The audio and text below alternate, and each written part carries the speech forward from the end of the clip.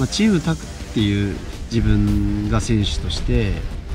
あの活動できるような基盤を作りたいと思ってるしそうなるにはやはり自分が結果を残すっていうことも必要なのでそのその結果っていうのはその試合でもそうですしまた僕たちの活動って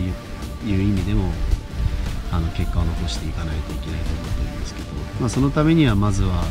えーと、トレーナーさんが必要であったりとか、まあ、コーチが必要であったりとか、まあ、そういったところでもやはりいろんな方の助けが必要になってくるっていう中で僕たちの活動を分かってくれるサポートしてくれる企業さんがいると僕たちとしてもすごくありがたい